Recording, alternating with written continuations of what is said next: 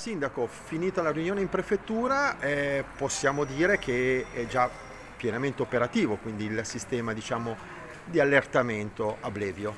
Sì, è attivo, adesso dobbiamo fare comunicazioni, è attivo in fase test, dobbiamo, abbiamo fatto questa riunione con i vari enti, regione, provincia, prefettura per vedere di fare dire, il coordinamento sull'utilizzo e appena chiusa anche questa fase poi faremo le comunicazioni alla popolazione per eh, mandarlo nella fase più operativa a, per le allerte anche verso la popolazione. Chiaro è un sistema che avrà bisogno di un po' di tempo di taratura, però diciamo si è partiti. Ecco, in caso di malaugurata emergenza, Luca suona l'allarme, cosa succede? Le persone riceveranno delle informazioni di, di comportamento di, per mettersi in sicurezza, chiaramente tareremo la, volumi eccetera per arrivare a diminuire i falsi positivi, cioè quegli ah. allarmi che poi non, non, portano a nulla, però chiaramente chiediamo alla popolazione di seguirci in questo e di rispettare queste ecco, Per il momento queste, questi segnali, questi cartelli solo a Sopravilla, che è stata purtroppo la più colpita in passato? I cartelli sono a Sopravilla, ma ci saranno, sono anche sulla strada provinciale okay, perché riguardano senti... anche la viabilità, e ci saranno segnali sia luminosi che sonori. sonori. Per cui poi l'altra cosa chiederemo alla popolazione, chi è disponibile, di fornirci il numero di telefono per mandare un sms sulle allerte, quelle soglie che andremo a definire.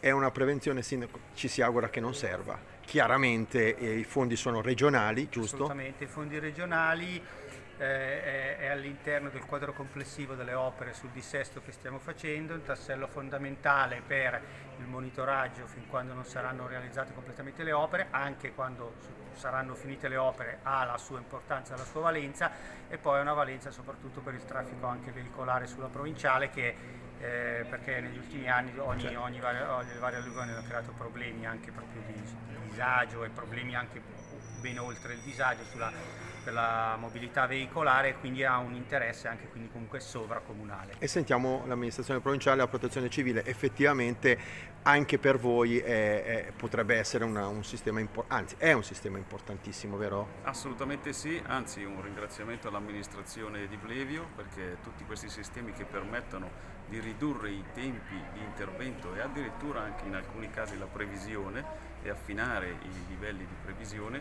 sono per il sistema di eh, provincia di, eh, che opera, va ricordato su delega di Regione Lombardia, sono per il sistema di provincia un, uh, un ottimo coadiuvante e un anello fondamentale del, del sistema di protezione civile. Quindi grazie all'amministrazione e grazie anche a tutti i tecnici, tutti quelli che ci sono dietro l'installazione di questo impianto.